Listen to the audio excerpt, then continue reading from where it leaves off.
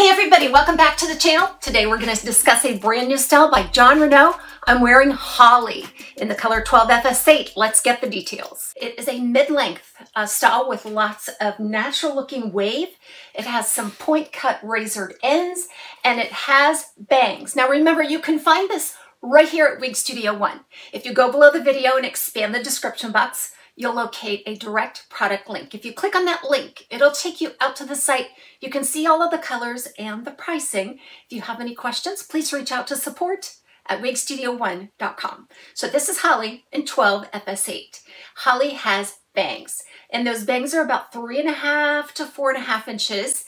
It's a light wispy bang that blends beautifully into the other layering. Now, if you find that that bang is too long, you could trim it or you could use your heat appliances to do a little bit of an under curl, which will lift it up off of the eyebrow just a little bit. This is a heat defiant style by Jon Renau. I have to say that this new heat defiance uh, fiber by Jon Renau on some of their more recent styles, it feels beautiful. It's soft and silky, buttery and fine. It's not a thick, coarse, sticky HD fiber. The overall length on this is about 12 inches and it is the same length all the way around. This really brings out the texture, the razored ends, that natural wave. What makes this beautiful too is the fact that it's a super light density. This just feels like next to nothing on. It weighs right around three and a half ounces, but it just has that cloud-like feeling on your head. It's not a dense, heavy style.